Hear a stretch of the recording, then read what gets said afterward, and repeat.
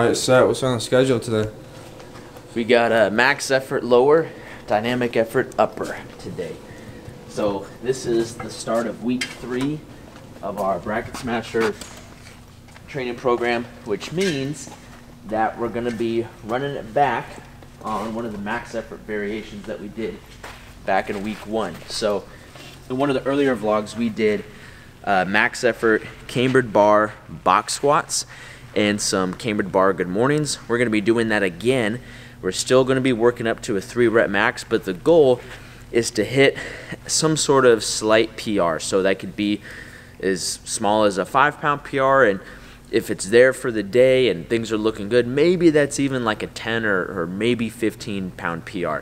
A lot of times when we're pushing these max effort workouts, we don't want to shoot for PRs that are just so astronomically big and like set some giant 50 pound PR. Sometimes that'll happen if it's a exercise that you've only done once or twice, maybe a couple years ago, and you're way stronger coming back to it now. But most of the time, if you're running through some of these variations every couple of weeks, you just want to shoot for about a 5 to 10 pound PR, rack the bar, strip the weight off, move on to your next exercise, and continue on with the workout. So that's what we have for the max effort side of things. Then on the dynamic effort side of things, we have our last week of the just straight bench press and med ball slams that we've been doing. And then we have conditioning at the end, but we're going to be tweaking things just a little bit on the conditioning. We're not we're going to get away from the rowers and the assault bikes a little bit. We're going to mix in some hand over hand sled drags and some battle ropes. So it should be a good time. The AM crew is going to show up any minute now, and we'll catch you guys after the workout.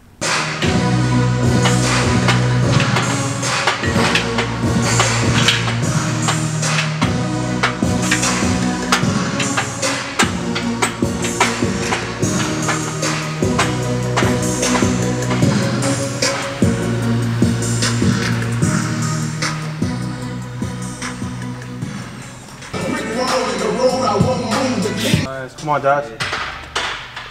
Yes, sir.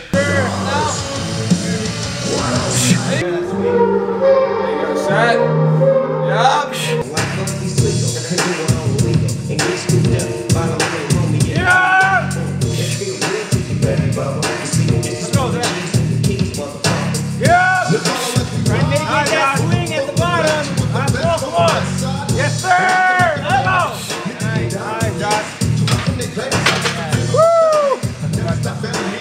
Yes, sir. Woo.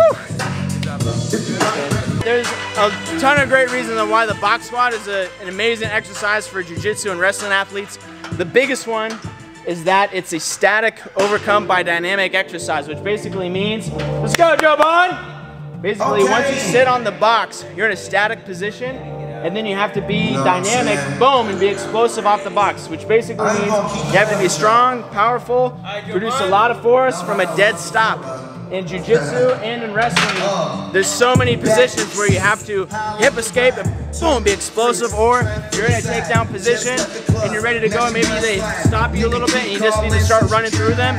You don't always have the ability to bounce off your hamstrings or bounce off your calves like when you do a free squat. So the box squat is a great static overcome by dynamic exercise. It's also great because it allows you to really sit back and load up your hamstrings, your glutes, and your low back a little bit more, which is all part of your posterior chain. You can't be strong if your posterior chain is weak. And then third, it brings you to a consistent range of motion every single rep. So if you're someone that has mobility restrictions where you can't sit ass to grass on a squat exercise, the box squat is a great tool for you to hit a consistent depth every time and get strong in that range of motion with proper technique. What's up, man? How has box squats affected your performance on the mat? In all honesty, just explosiveness. Like uh, all around explosiveness, but when I'm like sitting down, I play a lot of guard. Like I'll go for a lot of like singles and like just explosive moves, you know, from guard. So yeah, I just feel better like just getting up off the ground faster. So yeah.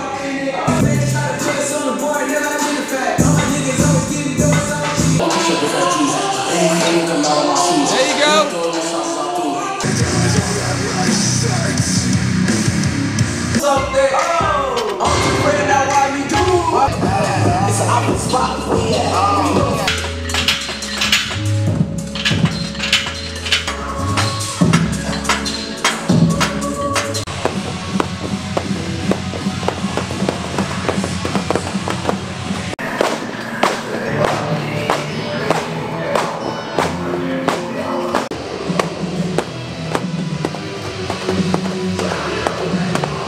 a wrap. Finished up with some conditioning on the battle ropes. You'll see that uh, for the first two weeks we did six sets, 30 seconds, 90 seconds rest between each set. And now we're kind of switching, we're switching focuses as far as an energy system perspective goes. We're focusing on that anaerobic alactic energy system where we're pushing really hard for 15 seconds. Kind of flirting with that point right before fatigue starts to set in. And then we're taking a shorter rest than we need. So we're only doing 15 seconds of work, 45 seconds of rest. 45 seconds really isn't enough time to fully recover, so you have to step into each next uh, conditioning interval a little bit more fatigue from the last. And this is great for teaching you and teaching your body to push the pace and to work at a high power output and to work at a at a high work rate, so to speak, while you're in the in a fatigue state. So box squats went great. Some of us hit a big PR. Zach hit a big PR today. Um, Joban worked up, did some heavy singles, mixed with some broad jumps because he's going to be competing this weekend, so that was part of his peaking phase. And then uh, we did some speed bench, six sets, five reps. We kept the same weight all three weeks, making sure that we're staying fast on every rep as we're adding a rep every week. And then uh, finish with conditioning. So all in all, it's a solid training session. It's 5.59 a.m. Time for the AM crew to head out. Thank you guys so much for watching. You guys can follow me on Instagram at Joshua Settlage and on TikTok at Joshua Settlage. If you guys are interested in a free four-week training program, click the link below. You guys can uh, get that email to you for free. Peace.